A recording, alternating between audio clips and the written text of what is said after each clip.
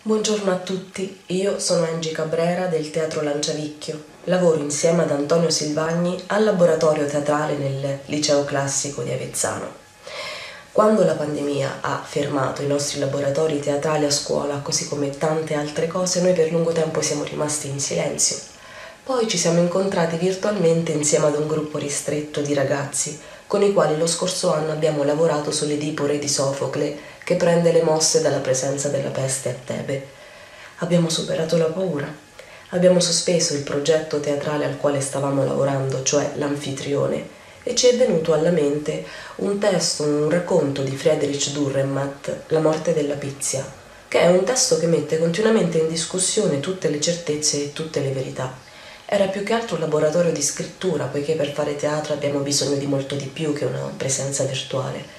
Dopo il vostro invito è diventato un laboratorio di analisi e di comprensione del testo e dei personaggi.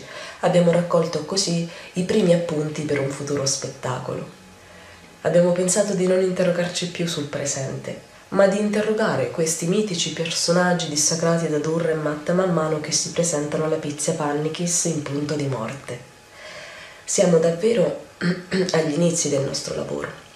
Ognuno dei ragazzi sta lavorando alla biografia di un personaggio, dando voce e inventando un modo simpatico per dargli anche vita e senza poter utilizzare il proprio corpo e l'interazione con l'altro, che è una delle cose su cui normalmente basiamo maggior parte del tempo nei nostri laboratori e nel nostro fare teatro.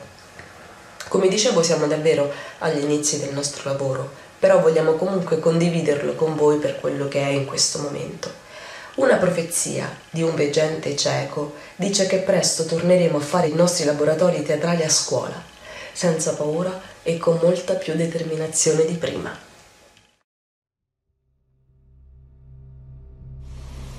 Stizzita per la scemenza dei suoi stessi oracoli e per l'ingenua credulità dei greci, la sacerdotessa di Delfi, Pannichis nona, lunga e secca come quasi tutte le pizze che l'avevano preceduta, ascoltò le domande del giovane Edipo, un altro che voleva sapere se i suoi genitori erano realmente i suoi genitori, come se fosse facile stabilire una cosa del genere nei circoli aristocratici, dove, senza scherzi, donne maritate lasciavano intendere i loro consorti, i quali finivano anche per crederci, come ugualmente Zeus in persona si fosse giaciuto con loro. Vero è che in simili casi, essendo comunque dubitosi coloro che venivano a consultarla, la Pizia soleva rispondere con un semplice sì, no, dipende. Quel giorno però la faccenda le parve di un'idiozia veramente intollerabile, forse soltanto perché quando il pallido giovanotto entrò claudicando al santuario erano ormai le cinque passate, invece di starlo a sentire la pizia avrebbe dovuto solamente chiudere. E allora, vuoi per guarirlo dalla fede incondizionata nelle sentenze degli oracoli, vuoi perché, essendo così di cattivo umore, le saltò il ghiribizzo di far arrabbiare quel principe di Corinto dall'aria così altezzosa, la pizia gli fece una profezia che più insensata, inverosimile non avrebbe potuto essere essere, la quale pensò non si sarebbe certamente mai avverata, perché nessuno al mondo può ammazzare il proprio padre e andare a letto con la propria madre, senza contare che per lei tutte quelle storie di accoppiamenti incestuosi fra dei e semidei non erano altro che insulse leggende. Vecchia com'era Pannichis, trascinava stancamente anno dopo anno la sua interminabile esistenza, sempre ai ferri corti con il gran sacerdote, che pure grazie a lei faceva soldi a palate, perché più passava il tempo, più i suoi responsi diventavano spavaldi ed azzardati. Non che lei credesse alle cose che diceva, anzi vaticinava in quel modo proprio per farsi beffe di coloro che credevano in lei, col risultato però di destare nei suoi devoti una fede assolutamente incondizionata. Pannichis profetava, vaticinava imperterrita, neanche a parlarne di poter andare in pensione. Merops riteneva infatti che quanto più una pizia fosse vecchia e svampita, tanto più diventava brava. Il meglio in assoluto era una pizza agonizzante. Non a caso gli oracoli più spettacolosi le aveva pronunciati Grobile Quarta, la pizia che aveva preceduto Pannichis in punto di morte. Pannichis, dal canto suo, si proponeva di astenersi del tutto dal profetare quando l'ora estrema fosse giunta anche per lei. Ciò che voleva era morire con dignità, almeno quello, e senza fare sciocchezze. Era già abbastanza degradante che ancora adesso fosse costretta a farne, per di più in condizioni di lavoro così deplorevoli. Il santuario era umido e pieno di correnti d'aria. Dall'esterno appariva sontuoso, primo dorico puro, ma all'interno era squallido. Una spelonca isolata di roccia calcarea.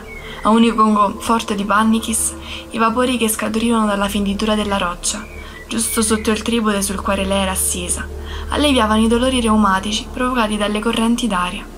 Da tempo ormai quel che accadeva in Grecia non le importava più, che il matrimonio di Agamennone scricchiolasse o meno, e con chi se la facesse Elena, tanto per cambiare, era privo per lei di qualsiasi interesse. La Prizia profetava a casaccio, vaticinava alla cieca, e poiché altrettanto ciecamente veniva creduta, nessuno ci faceva caso se le sue profezie non si avveravano quasi mai, o solo qualche rara volta, proprio quando le cose non potevano che finire in quel certo modo. Dopo la chiusura del santuario, Pannichis aveva l'abitudine di starsene seduta ancora un po' davanti al portale laterale. Poi, zoppicando, andava a rintanarsi nella sua capanna, si cucinava un semolino e lo lasciava lì, perché si addormentava. Detestava qualsiasi cambiamento nel tran quotidiano. Solo di tanto in tanto e sempre di malavoglia si presentava nell'ufficio di Merops XXVII, borbottando e mugugnando.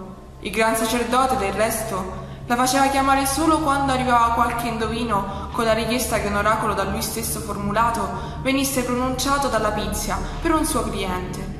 Pannichis detestava gli indovini. Va bene che non credeva negli oracoli, ma non vedeva nell'arte del vaticino niente di particolarmente indecente, gli oracoli che non essendo per lei che non sia voluta dalla società. Tutt'altra cosa erano invece le profezie dei veggenti, che lei era tenuta a pronunciare su loro ordinazione. Formulati come erano in vista di un certo scopo, quegli oracoli celavano sempre qualche sporco intralazzo, se non addirittura un ben preciso interesse politico. E la sera d'estate in cui Merops, stiracchiandosi dietro la scrivania, le disse con il suo solito tono melenso e falsamente cordiale che il veggente di Resia aveva espresso un desiderio, la pizza pensò subito che dietro quella richiesta si nascondesse qualche sporco intrigo o calcolo politico. Per questo, benché si fosse appena accomodata su una sedia, Pannechis XI scattò in piedi e dichiarò che con Tiresia non voleva avere niente a che fare. Era ormai troppo vecchia, protestò, per poter imparare, tenere a mente e recitare con sicurezza gli oracoli altrui. Arrivederci e grazie. Un momento, disse Merops inseguendole, sbarrandole il passo sulla soglia dell'ufficio. Momento. Non era il caso di prendersela in quel modo. Anche lui era convinto che quel cieco d'un Tiresia fosse un tipo quanto mai sgradevole. Di sicuro il più grande maneggione e politicante di tutta la Grecia. E, per Apollo, marcio e corrotto fino alle midolla. Ma bisognava ammettere, aggiunse, che nessuno pagava bene come Tiresia. E stavolta la sua richiesta era più che comprensibile, essendo a Tebe di nuovo scoppiata la peste. La peste era di casa a Tebe, borbottò Pannichis. Ne c'era da stupirsene poi tanto, disse. Bastava un'occhiata alle condizioni igieniche intorno all'Acropoli, la cosiddetta Cadmea, per rendersi conto del perché in quella città la peste fosse diventata, per così dire, endemica. Certo, disse Merops a Pannichis sperando di rabbonirla, Tebe era proprio raccapricciante. Un fetido buco sotto ogni aspetto. Non a caso correva voce che perfino le aquile di Giove faticassero a sorvolare la città, perché sbattevano un'ala soltanto, dovendo con l'altra turarsi il naso. E poi per non parlare poi di quel che succedeva alla corte del re.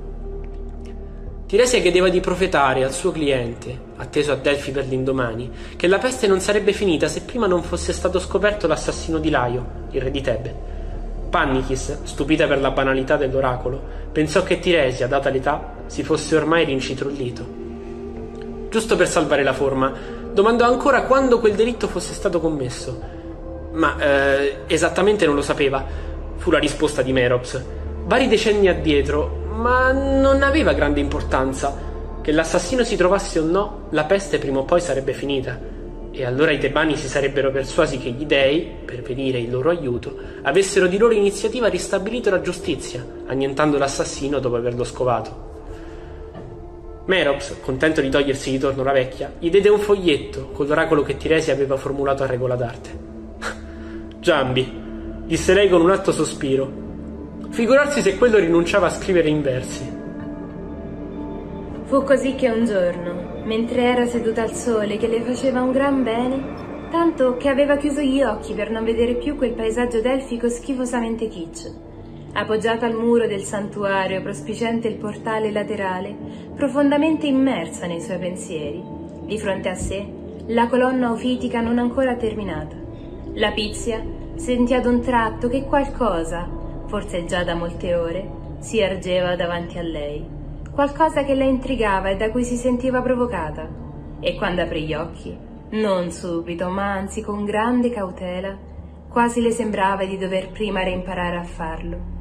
E quando finalmente guardò, vide una figura immane che si appoggiava a un'altra figura non meno immane e mentre Pannichis undicesima continuava a guardare aguzzando la vista, le due immani figure si raggricciarono e assunsero dimensione umana, e lei riconobbe allora un cencioso mendicante che si appoggiava a una mendicante altrettanto cenciosa. La mendicante era una fanciulla. Il mendicante fissò Pannichis con gli occhi sbarrati, ma non aveva gli occhi. Al posto degli occhi c'erano due grandi buchi pieni di sangue nero raggrumato sono Edipo, disse il mendicante.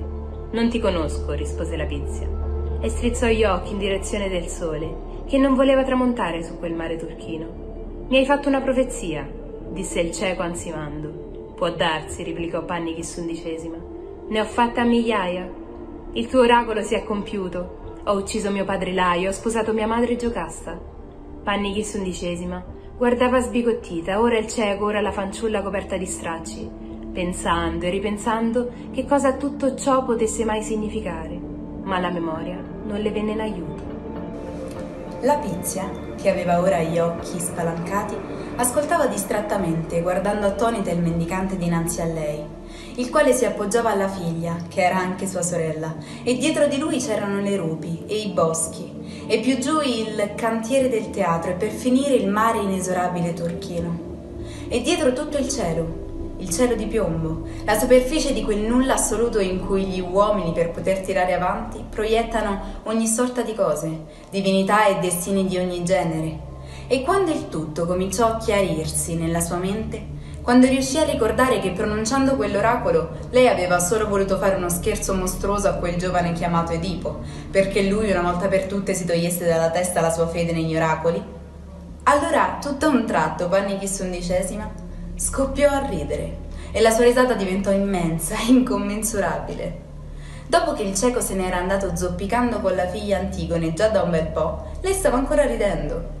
Eppure, come di colpo era scoppiata a ridere, così di colpo la Pizia ammutolì, quando le venne in mente che non tutto ciò che era accaduto poteva essere considerato frutto del caso. Si mise a sfogliare il libro di oracoli. Tutti i responsi emessi dal santuario vi erano registrati. Finalmente si imbatté in un oracolo pronunciato per un certo Laio re di Tebe. Qualora gli fosse nato un figlio, costui lo avrebbe assassinato. È un oracolo intimidatorio, pensò sé sé. Riconosco lo zampino di Crobile Quarta, la pizza che mi ha preceduta, della quale peraltro sapeva benissimo quanto fosse corriva coi desideri del gran sacerdote. Poi, frugando nei libri contabili, trovò la prova di un versamento di 5.000 talenti da parte di Meneceo, l'uomo drago, il suocero di re di Tebe e Laio, con la conseguente annotazione. Per un oracolo formato da Tiresia, in relazione al figlio di Laio. La Pizia chiuse gli occhi. Meglio sarebbe stato, pensò, essere ciechi come Edipo. I vapori lievemente rossastri che scaturivano dalla fessura nella roccia la avvolsero strato dopo strato come nuvole dense, e attraverso quei veli Pannichis scorse un volto, e seppe tutto ad un tratto che si trattava di Meneceo, l'uomo drago. Sono Meneceo, padre di Giocasta e Creonte, la mia stirpe, quella drago, era più antica e prodigiosa di quella del re di Tebe Laio. Ho dato tutti i miei averi a Tiresia per produrre un oracolo capace di far divenire Creonte re di Tebe. Poi a Pannichis comparve il viso del ragazzo di cui si era beffata anni addietro, Edipo. Quando io, Edipo, arrivai da te, Pannichis, sapevo già che Polibo e Merope non erano i miei veri genitori. Quando ti lasciai, stavo pensando tra me e me chi dovevano essere quelle persone in base alle quali l'oracolo si sarebbe avverato. Quando all'improvviso, in un crocevia, uccisi un vecchio vanaglorioso e irascibile. Seppi ancor prima di averlo ucciso che si trattava di mio padre Laio. Sai, uccisi anche il suo auriga. Sì, adesso che ricordo, Pannichis... Ora Pannichis, mi... circonfusa dai vapori, vide che davanti a lei si stagliava una figura femminile. Sono Giocasta. Che fosse mio figlio io l'avevo intuito subito, fin dalla prima notte in cui Edipo mise piede a Tebe. Ma Laio non era suo padre, cosa di cui ora è convinto. Era nato dalla mia unione con un ufficiale di nome Mnesippo, con cui mi sono intrattenuta una notte, e che mio figlio ha ucciso in duello. Una notte. Dalla fessura della roccia si levò un'ombra, che man mano si trasformò in un volto i cui occhi grigio ghiaccio osservavano la sacerdotessa pacatamente. Era Tiresia. Tiresia il maneggione verboso è presente. Stratega di uomini, scacchista di oracoli.